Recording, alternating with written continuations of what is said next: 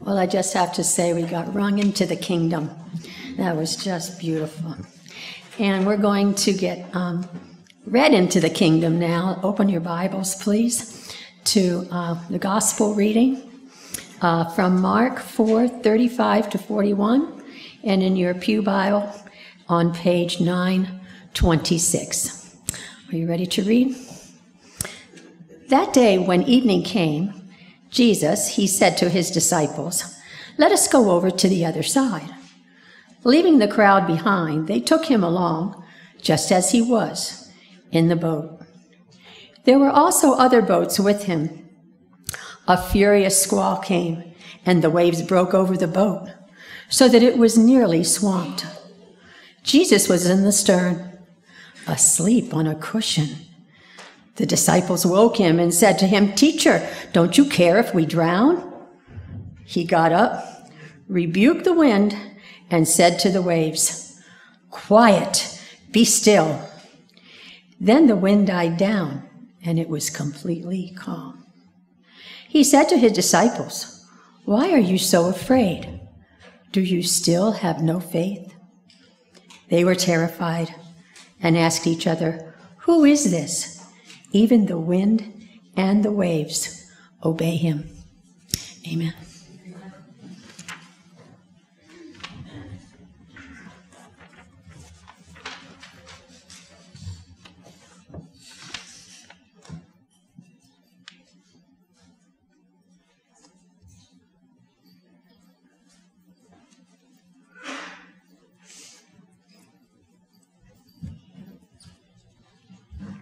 Thank you, Lynn. Hopefully, you can connect the two texts that we've read so far Psalm and this reading in Mark.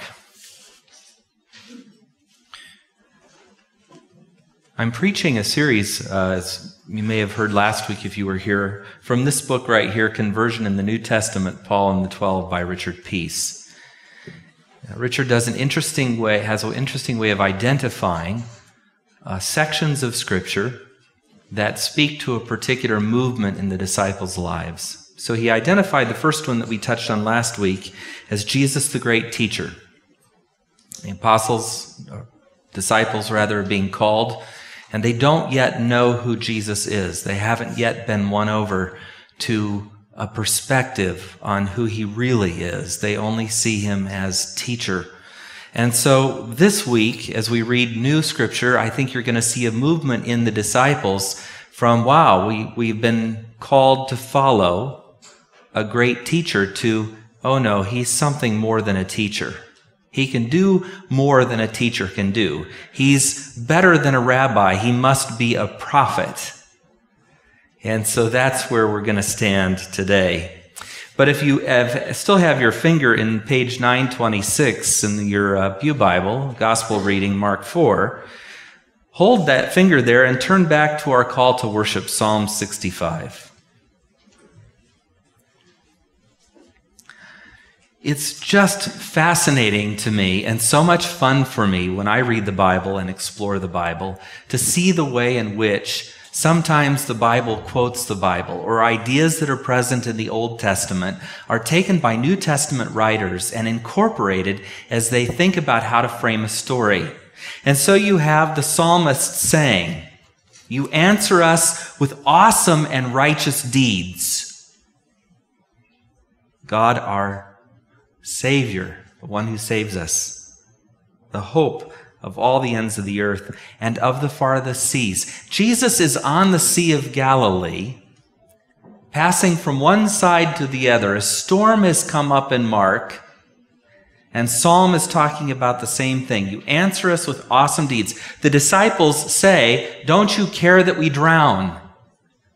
And Jesus answers with awesome and righteous deeds.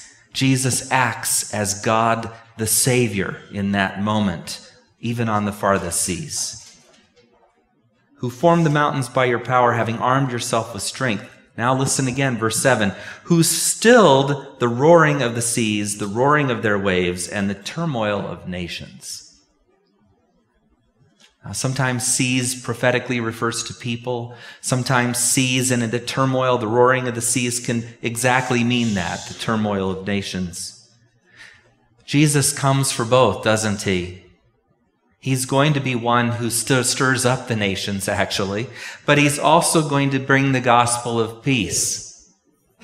Jesus is going to be one who stills the roaring of the seas, literally in this story. The whole earth is filled with awe at your wonders. Where morning dawns, where evening fades, you call forth songs of joy. So poetically rendered, so beautifully said and shared. And now we go to our gospel reading, and the story or the praise that's embedded in the Psalms is brought forth in the story of Mark 4, Jesus in the boat. Verse 39, Mark 4 He got up, rebuked the wind, and said to the waves, Quiet, be still. And it became completely calm. Now, that miracle is not the focus of my uh, work this morning. What I hope for us to get out of this is the question that Jesus asks.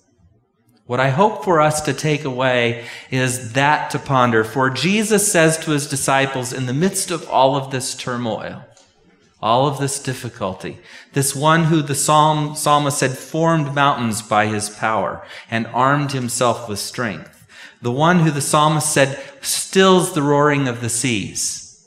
Now, this is not teacher power. This is not pastor power. This is not normal power.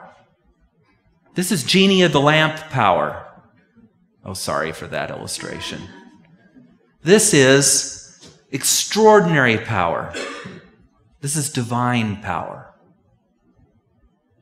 This is power that word the same generative word that brought forth everything in creation now speaks and changes the reality of the physical around it. Jesus speaks, and the waves and the wind calm. Now, what he speaks next is not be quiet,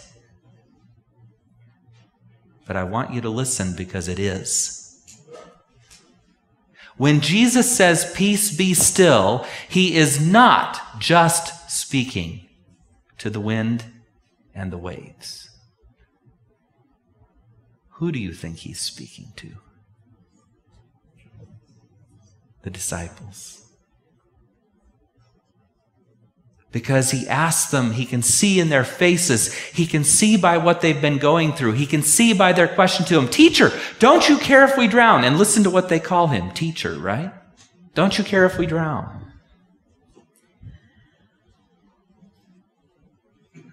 He got up and rebuked the waves, and he said to them, Why are you so afraid? Do you still have no faith?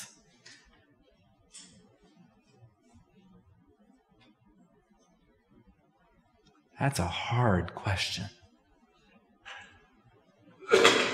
Spiritually, I've journeyed many years, pastored churches. And spiritually, sometimes I'm still afraid. And Jesus' question to me this morning as a follower of him is why are you still afraid? Do you still have no faith? I imagine some of you are in the same boat. Living life, finding yourself out in the storms of life on the sea, and without trust that God will calm the seas and still the winds. And moreover, you're looking for Him to do that externally, when in reality, when He says, Peace be still, yes, He's speaking to the wind and the waves. The text says so. He is also speaking to you. Trust me in the middle of the storm, Jesus is saying. When the waves are rocking the boat and the wind is tossing you about, when you've experienced the panic of wondering if you're going to make it, trust me in the midst of the storm. Can we do it? It's quoted in Scripture, isn't it? One saying, Yet though he slay me, will I trust him.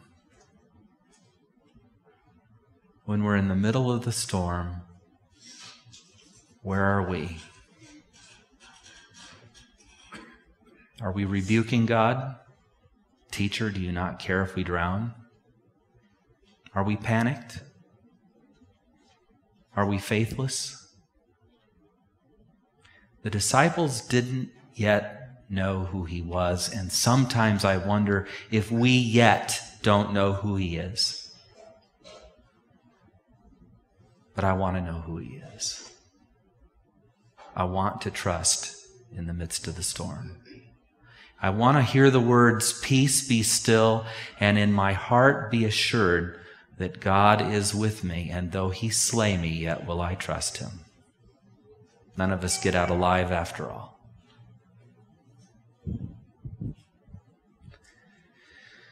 Things calmed down.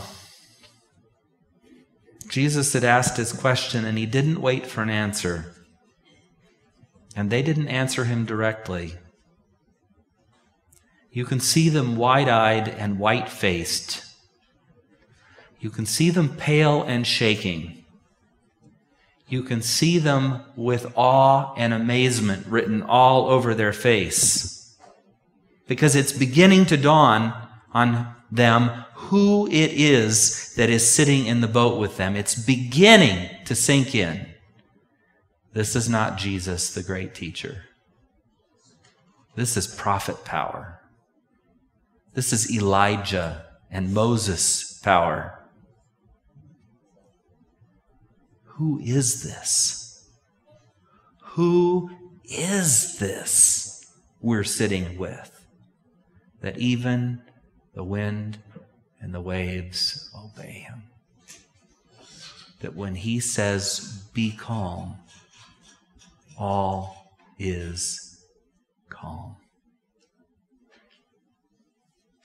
in this section of Scripture, Mark's appeal to us as followers of Jesus is to hear his voice when he says, Peace, be still, and trust that not only will he control the wind and the waves that surround us, not only can he calm those, not only is he concerned for our well being and that we not drown in the moment but he's concerned that in the midst of the storm, we trust and believe and have faith. Remember last week, one of our thesis statements was that we might hear and believe. This week, Jesus is saying, Don't you trust? Do you still not have any faith? Saying it to me. I think he's saying it to you. Do you still not have faith? Our response, like the disciples, if we're to move to the place that the gospel wants us to go, must be just as candid. We must pause in holy terror we must pause in great awe. We must pause with all of the respect that such an event would garner and all of the attention that such an event would force. And we must, like the disciples, in awe say, Who is this that we're dealing with? That even the waves and the wind, they obey him.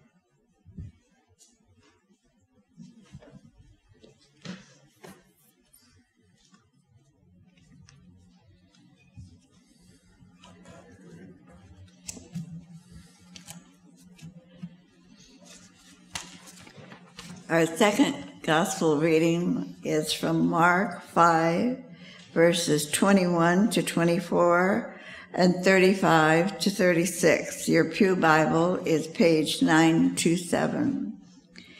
When Jesus had again crossed over by boat to the other side of the lake, a large crowd gathered around him while he was by the lake.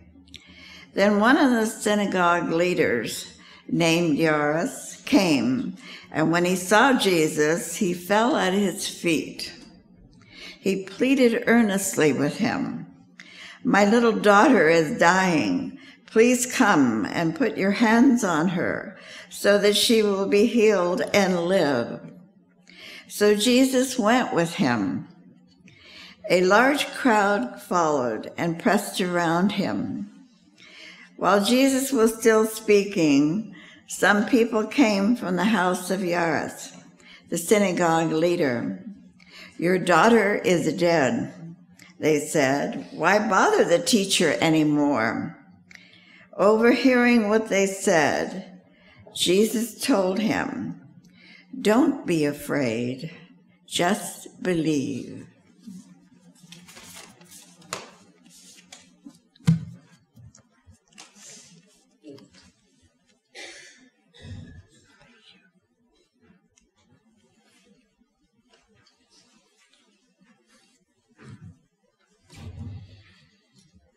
In those chapters that we looked at last week, we found Jesus likewise healing. Turn with me just to the beginning of the book of Mark.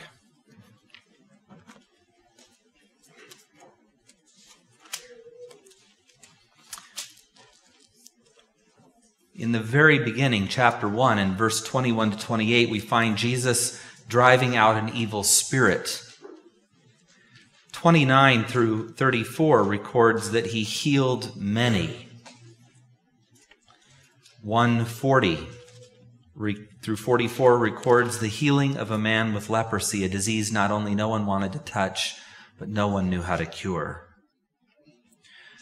In chapter 2, he goes beyond mere healing and forgives somebody their sins and in the course of forgiving them, connects forever for us bodily healing with spiritual healing. It's part of what the medical mission of the Adventist Church is about. We proclaim to patients not only good news about physical techniques for healing, but we lead them to a Christ who heals them by forgiving them as well. We find that Jesus is Lord of the Sabbath at the end of 2 and as such takes the liberty of healing on the Sabbath in chapter 3. Notice in 3 verse 6 it says, The Pharisees went out and began to plot with the Herodians how they might kill Jesus. Now, this is all prior to what we're reading for today. At the end of four, uh, 3, excuse me, Jesus is being accused of being possessed of the same evil spirits that he drives out. How is it, Jesus says, that a man possessed of an evil spirit can then drive out another spirit? And he makes his argument. When we get to Mark 4 and Jesus calms the storm, we come to something really shifting. Not just teacher, not just Lord of Sabbath, but prophet. Something extraordinary is happening.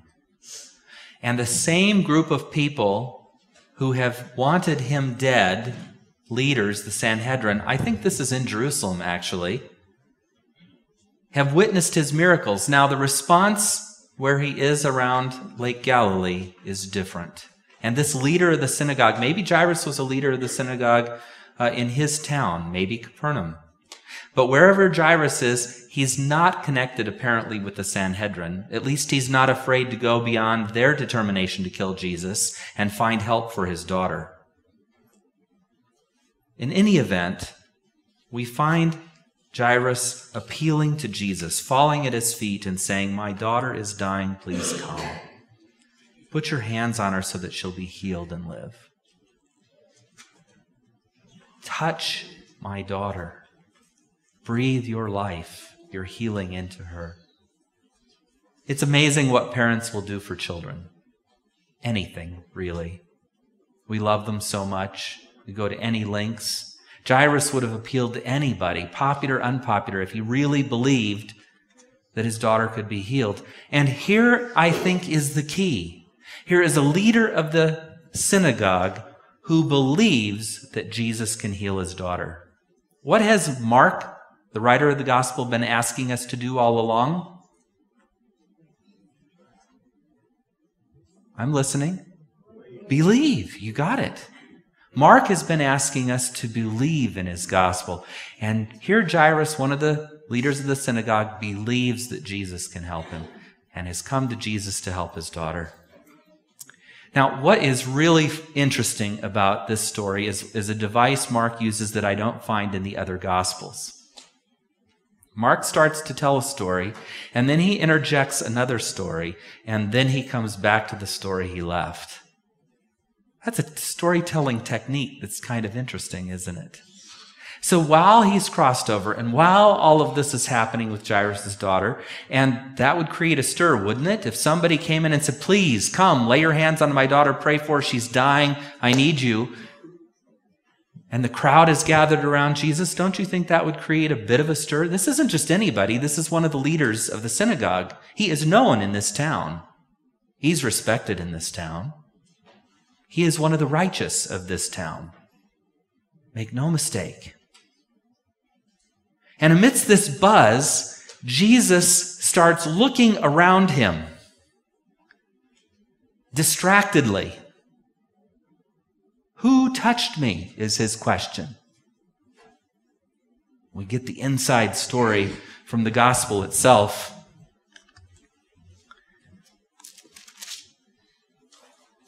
A large crowd is pressed around Jesus. Verse 25 And a woman was there who had been subject to bleeding for 12 years.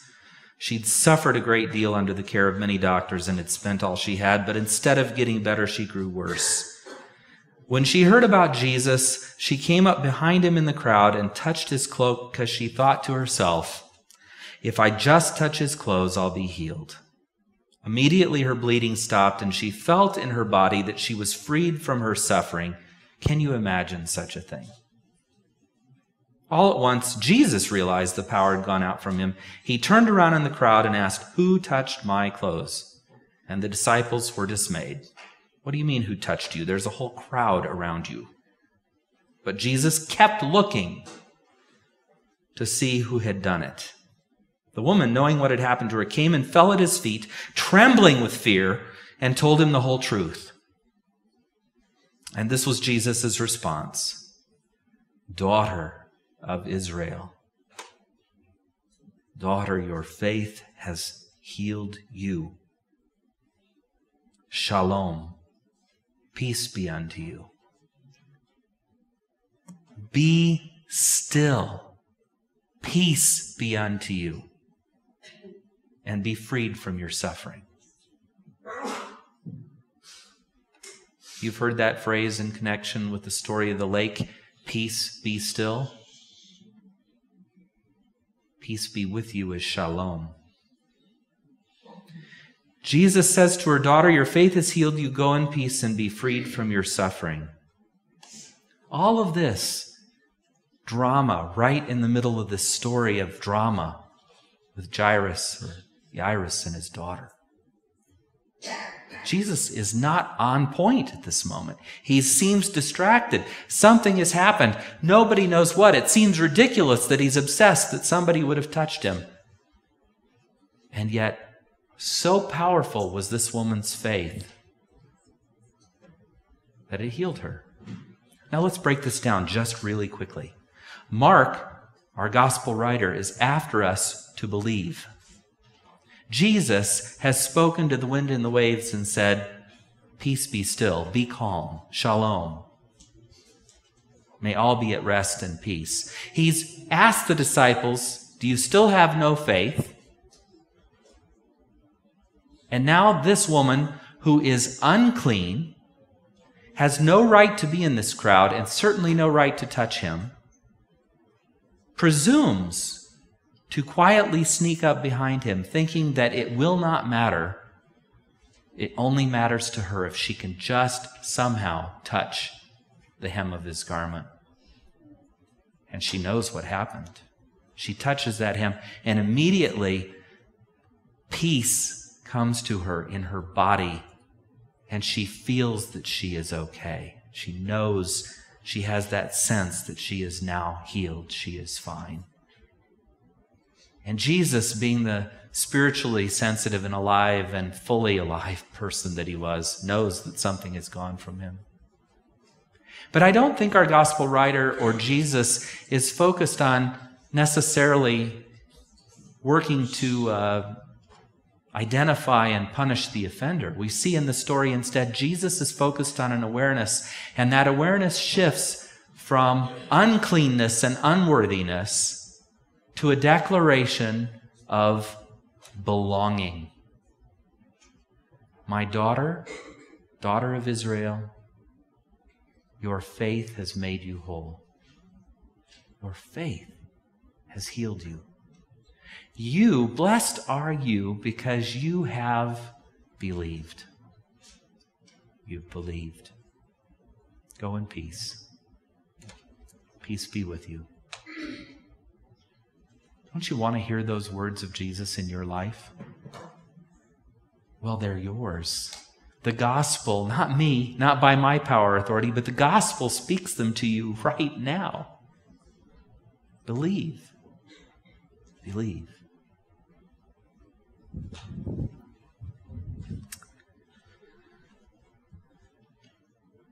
You can imagine what people thought. He's freed her from her suffering. And in freeing one, he's been distracted and he hasn't gone to the house of Jairus, the synagogue leader, and representatives have come from that house saying, Your daughter is dead. Why bother? Overhearing what they said, Jesus told him, Here it is again. Don't be afraid. What does Jesus say on the lake? Why are you still so afraid? Hmm. Don't be afraid, he says. Just believe. In this particular case, Jesus decides not to let anyone follow him except Peter, James, John, the brother of James, and they go to the home of the synagogue leader, and Jesus sees a commotion there with people crying and wailing loudly. Already the mourners are gathering. He went into them and said, Why all this commotion and wailing? The child is not dead, but asleep. But they laughed at him. That's rough. I like the sentence that's next. It gives you a lot of space to imagine what happens in the meantime. After he put them all out, it says, but they laughed at him. And then the next sentence is, after he put them all out. Jesus cleansing the temple of the money changers. You can just see him in this home. Ouch. Go. He's already limited who's going to be with him of the apostles. And now these doubters are here, these laughers, these people who have no faith. They've just showed up to mourn. And for some of them, they don't even know the girl well. They're going to do this professionally and they're going to get paid and there's going to be food. And it, she's out. Go. I don't see him as particularly polite or long winded in this situation. I see him as getting this done. He took the child's father and mother and the disciples who were with him and went in to where the child was. He took her by the hand and said to her, Talitha koum, which means, little girl, I say to you, get up. And immediately the girl stood up and began to walk around. She was 12. At this time, they were completely astonished, the scripture says. He gave strict orders not to let anyone know about this and told them to give her something to eat.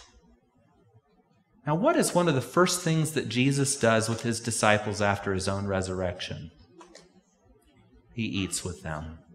He eats with them on the road to Emmaus. He eats fish with them on the Sea of Galilee at the campfire where they're gathered there. He eats with them. And the first thing he tells the parents to do when this lovely girl comes back to life is says, give her something to eat. It's as if he's going a step beyond just the appearance of resurrection and saying, How is it that a ghost could eat food, right? This is not an aberration before your eyes. This is flesh and blood. Feed her. Take care of her.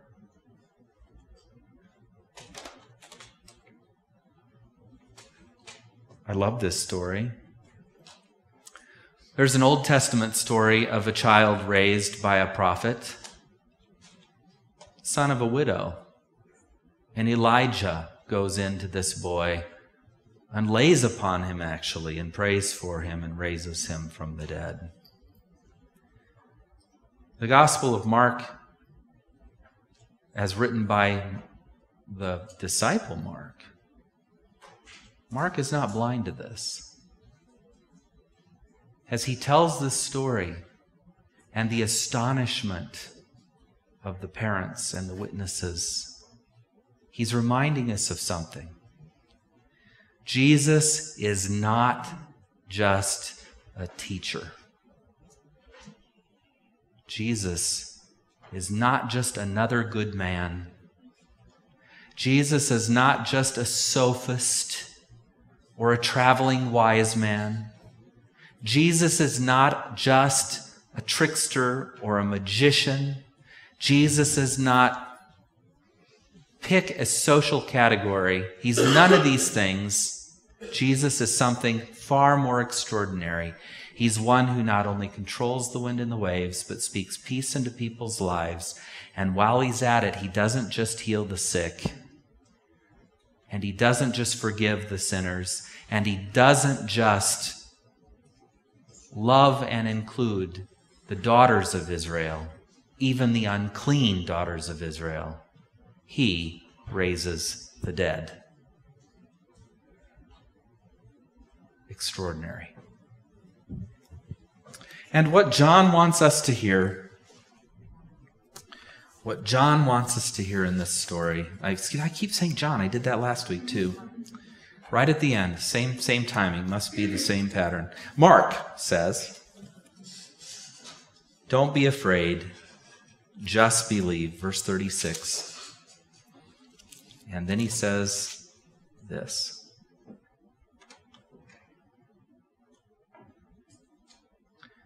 Don't tell anyone give her something to eat.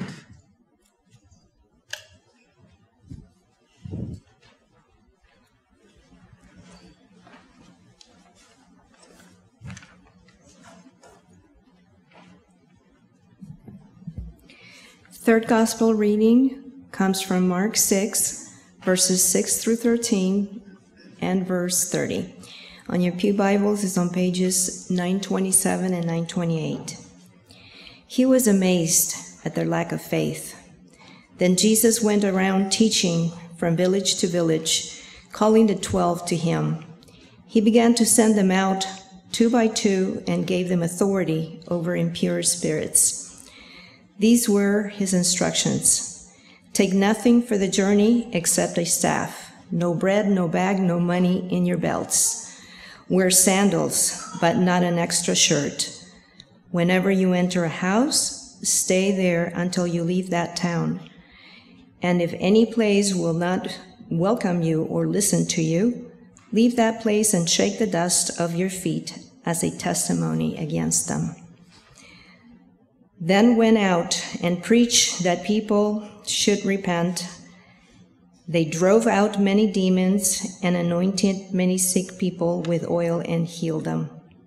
The apostles gathered around Jesus and reported to him all that had done and taught.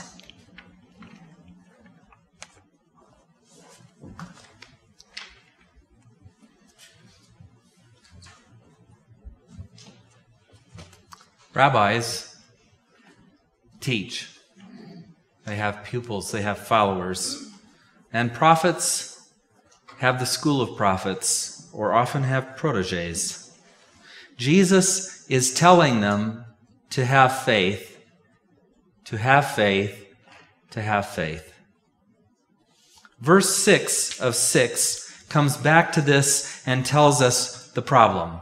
Jesus, he was amazed, just as they're amazed at what he can do, They're amazed that he can raise the dead, heal the sick, calm the sea. They're amazed, amazed, amazed, amazed. Jesus is amazed at their lack of faith.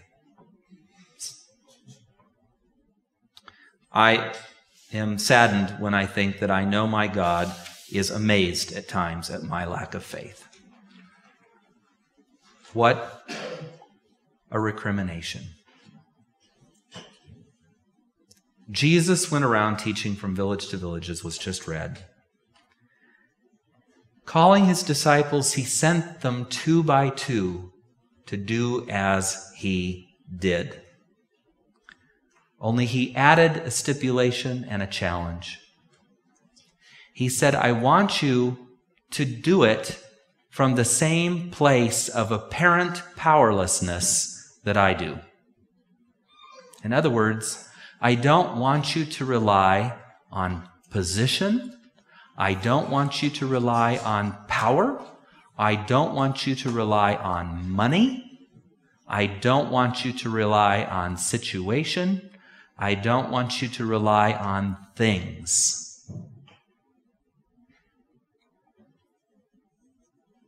What am I supposed to do? For we are living in a material world. And I am a material boy. What are we to do?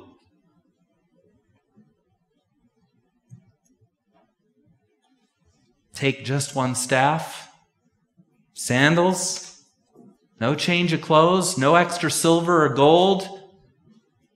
Just go. And if you're received, bless them. And if you're not, shake the dust off your feet as a curse to them, a testimony against them.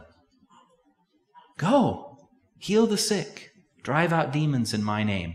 Believe. Let's put belief into practical action. And you know, they were inspired enough, knew enough. They were something because they went out and they actually tried what Jesus told them to do. And guess what happened? Jesus gave them, through their faith, the power to do what he had done. Now, we don't have record that the disciples are running out and raising the dead. They are, after all, proteges at this point. But we do have record that they came back and reported to Jesus all that they had done. And let's just hear the report one more time. The apostles gathered around Jesus and reported to him all that they had done and all that they had taught. And in verse 13, we see what that amounted to. 12 2. They had preached and told people that they should repent. Remember, forgiveness and healing go together.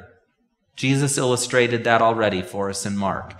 Jesus said, I forgive you. You are forgiven. Your sons, your sins, excuse me, are forgiven you. Go in peace, my son. And the man did, and he was healed.